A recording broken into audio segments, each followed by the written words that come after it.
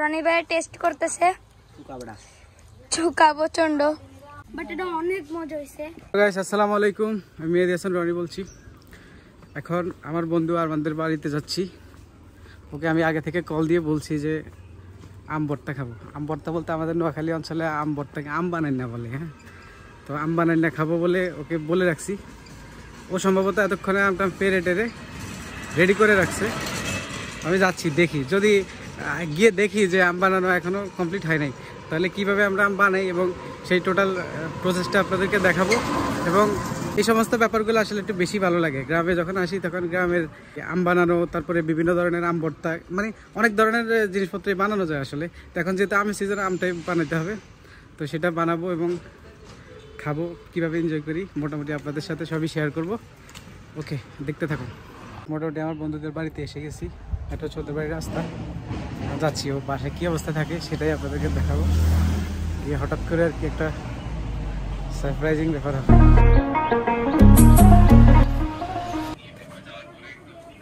আমান কই?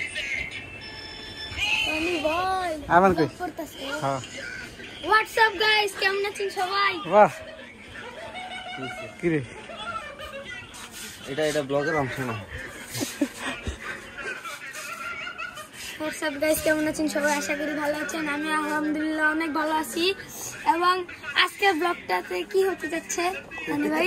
তোমাদের বাড়িতে আম বানানো হতে যাচ্ছে আর আমরা সেটা আম বানানো হতে যাচ্ছে। আমরা ওটা দেখব উপভোগ করব এবং খাব। আর আপনাদেরকে দেখাবো। আপনারা খাইতে পারবেন। না। আম কাটা হচ্ছে আম আম। অনেক সুন্দর সুন্দর আম আছে। আপনারা যদি খাইতে চান তাহলে কমেন্ট করে বলতে পারেন। তাহলে আমরা খাইতে দিব। অনেক পাইবেন। মাই কই যায়? আমরা এখন যাব ঘরে।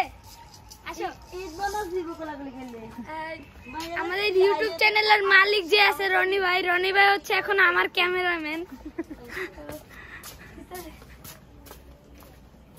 আরমান ভাইয়া বাইরে হওয়ার কথা বলে এখন ঘরে এসে ঘুমাচ্ছে। ওয়াও কত সুন্দর কি সুন্দর লজিক কি সুন্দর লজিক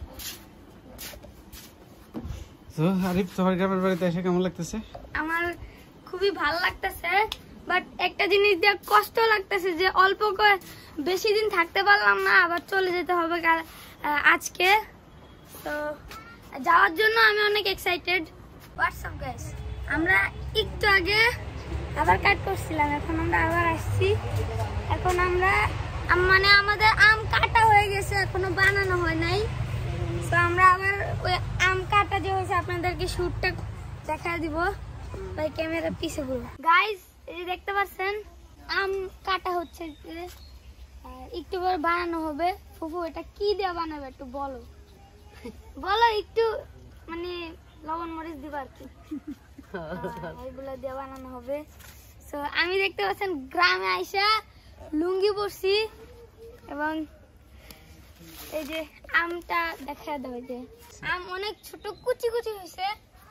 এটারে এখন মরিচ লবণ চিনি মিনি এগুলো দিয়ে আম মিক্স করা অনেক সুস্বাদু একটা ফ্লেভার বানানো মজা হবে অনেক খাইতে।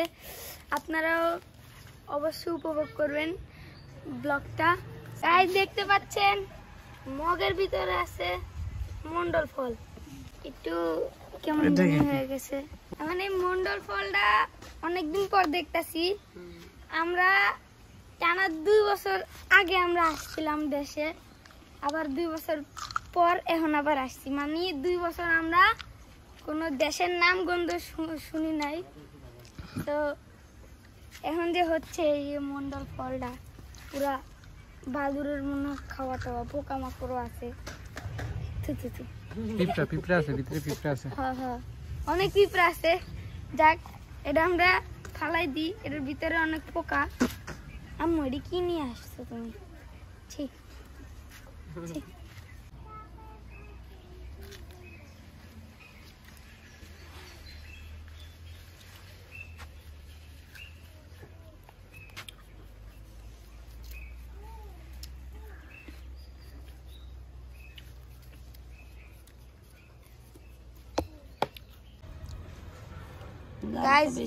আম বানানি মোটামুটি কমপ্লিট লবণ লাগবে ভাবি?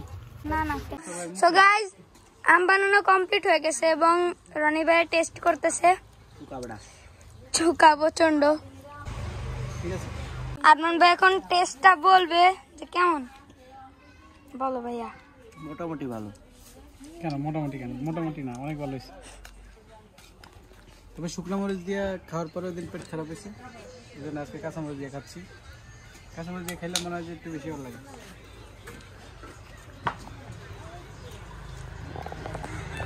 কাঁচামরিচের সাথে চিনির যে কম্বিনেশন সেটার কারণে অত বেশি ঝাঁঝালো লাগে না, একটু মিষ্টি মিষ্টি ভালোই লাগছে। গাইজ যে আমি এখন টেস্ট করব।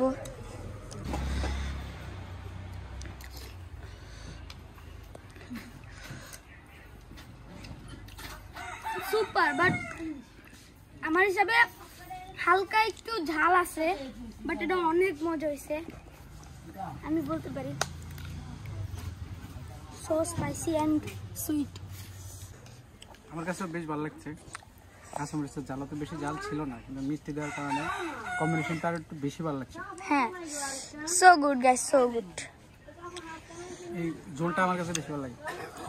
রেলে গেছে এটা মানে স্পাইসি এবং সুইটের একটা কম্বিনেশন মিলে খুবই মজা একটা ইয়ে আসে আর এটা একটু টক টকও সেটা অনেক ভালো লাগে।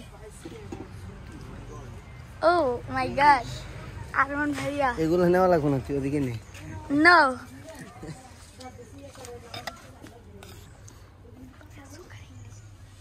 sugar English sugar English তো সুগারই চুকা কেমন ভাইয়া? অনেক মজা কেন? কয়বার কম? ভালো হয়েছে তো। হ্যাঁ। নারায়ণ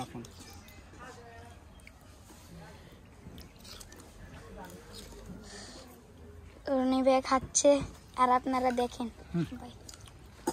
না না না মরিস আল্লাহ। গাইজ গাইজদেরকে একটু খাওয়াই দাও। আর তুই নে।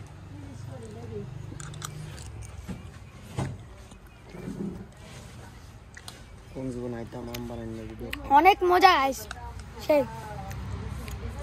আমার ভালো লাগছে। অস্থির। রনি ভাই চোখ থেকে পানি আসতেছে সিরিয়াসলি টক তো আম অনেক টক চিনি দেওয়ার কারণে খাইতে পারতেছি না তো খাইতে পারতাম না। গাইস আমাদের গাছ এলাম ওই যে সব আমাদের গাছ সব নিজস্ব গাছ। আর খাইতে পারব না। আম অনেক টক আর খেতে পারতেছি না। তো আজকের ব্লগটাই পর্যন্তই। নেক্সট কোনো ব্লগে আপনাদের সাথে দেখা হবে। সে পর্যন্ত ভালো থাকবেন। আর হ্যাঁ গাইস ব্লগ এন্ড করার আগে একটা কথা বলে দিই। সরি দুইটা কথা বলে দিই। যে এক নম্বর কথাটা হলো আপনারা জলদি চ্যানেলটিকে সাবস্ক্রাইব করে এবং পাশে থাকা বেল আইকনটিকে অবশ্যই প্রেস করে দেবেন যাতে যেন আমাদের ভিডিও আসলে সবার আগে যেন আপনার কাছে যেতে পারে এবং বিরতিটা লাইক করে দেবেন এবং যদি আপনারা ফেসবুক পেজ থেকে দেখতেছেন তাহলে এটা ফলো করে দেবেন। আজকের জন্য কি? আল্লাহ হাফেজ! Я был прав, но несчастлив. Разбуди меня огнем. Может стать, попытаться. Можешь поделиться с нем Everyday перетяги. Дышу музыкой на зло. Я тону в этой саге Пока дымится нутро. Перебереги мою любовь. Перебереги моя душа. Я не перестал любить без слов. Хочу любоваться не спеша. Только ты и я